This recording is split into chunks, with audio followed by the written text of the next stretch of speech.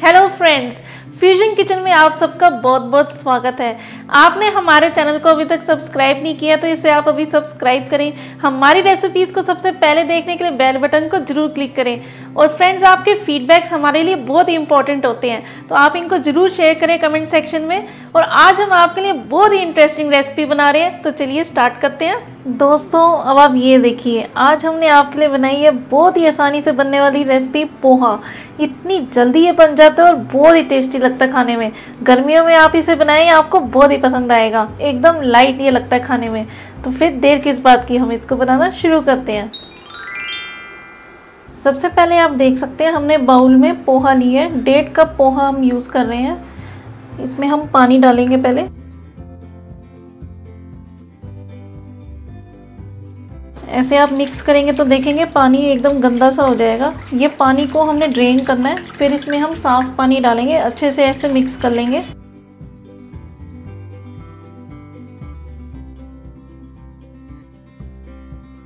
ये पानी को हम फेंक देते हैं और फिर हम इसमें दूसरा पानी डालेंगे। ये पानी हमने ड्रेन कर लिया अब हम इसमें और साफ़ पानी डालेंगे।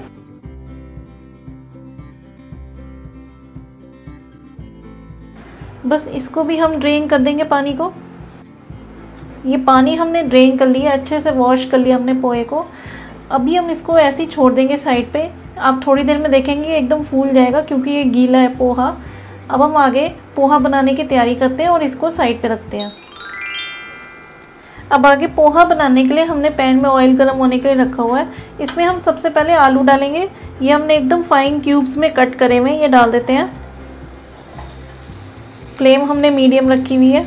मिक्स कर लेंगे इनको। पहले हमने आलू फ्राई करके निकालने हैं। बहुत ही इजी और सिंपल रेसिपी है। ब्रेकफास्ट में आप ऐसे बनाएँ, एकदम गर्मियों में लाइट आपको लगेंगे खाने में और पेट भी आपका भर जाएगा। कोई आपको हैवी नहीं लगेगा इसको खाने के बाद। जल्दी से एकदम बन जाते हैं। आप ऐसे पोहा बना लें। हम एकदम सिंपल बना रहे हैं अपने स्टाइल में।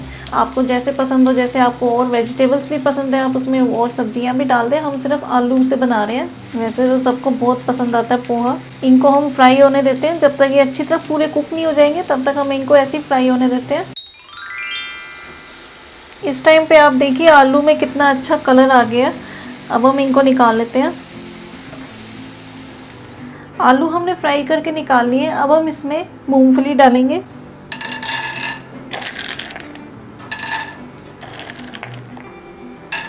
इनको भी हम अच्छे से फ्राई कर लेंगे। बहुत ही अच्छी लगती है पीनट्स ऐसे खाने में एकदम क्रिस्पी आएँगी। आपको बहुत अच्छी लगेंगी। आप ऐसे ये पोहा बना के जल्दी से ऑफ़िस भी ले जाना ऑफ़िस भी ले जा सकते हैं। और आप शाम को चाय के साथ आपका कुछ लाइट खाने का मन हो तो भी आप ये बना के खा सकते हैं। बहुत ही अच्छे बनते हैं और एकदम सिंपल रेसिपी है। लो फ्लेम पे ही हमने मूंगफली को फ्राई करना है, नहीं तो एकदम से जल जाएगी। जैसे ही मूंगफली का कलर चेंज होना शुरू हो जाएगा, हम इनको निकाल लेंगे। मूंगफली का आप देख सकते हैं, इस टाइम कलर चेंज हो गया है। ये भी अच्छे से फ्राई होगी, इनको भी हम निकाल लेते हैं। अब आगे इसी ऑयल में हम पोहा बनाते हैं। फ्लेम हमने लो रखी हुई है अभी, क्योंकि ऑयल इस टाइम बड़ा गर्म है। सबसे पहले हम इसमें मस्टर्ड सीड्स डालेंगे। जैसे ही आप देख रही हैं चटकना शुरू हो गए हैं। हम इसमें प्याज डाल देते हैं। ये हमने ऐसे लंबे लंबे काटे हुए हैं। मिक्स कर देंगे। जस्ट एक दो मिनट हमने प्याज को ऐसे सौते कर लेना दो मिनट करीब हो गए हैं प्याज को ऐसे भूनते हुए। अब हम इसमें चॉप टमाटर डालेंगे। साथ ही इसमें हल्दी पाउडर ऐड कर देते हैं। और अभी हम एकदम ज़रा सा नमक डालेंगे, जिससे टमाटर जल्दी गल जाएँगे। मिक्स कर देते हैं ये सब। अभी हम इसको ऐसे ही कुक करेंगे तब तक टमाटर नहीं गल जाते। इस टाइम पे आप देखिए, टमाटर गल गए हैं। अभी हम इसमें जो हमने आलू और मूंगफली फ्राई करी थी ना, वो ऐड कर देंगे। साथ ही इसमें कड़ी पत्ता ऐड कर देते हैं। इससे बहुत ही अच्छा फ्लेवर आएगा। लेमन जूस डाल देंगे इसमें। थोड़ा रेड चिली पाउडर। जितना आप स्पाइसी पसंद करते हैं, उसके अकॉर्डिंग आप डालें। मिक्स कर लेंगे ये सब। ये आप देखिए, जो पोहा हमने रखा था एकदम खिला खिला हो गया। ये देखिए।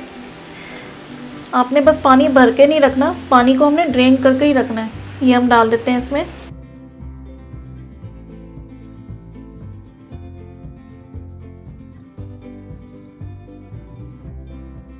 और इसमें एक चीज़ रह गई है, हमने नमक डालना है टेस्ट के अकॉर्डिंग वो हम डालते हैं।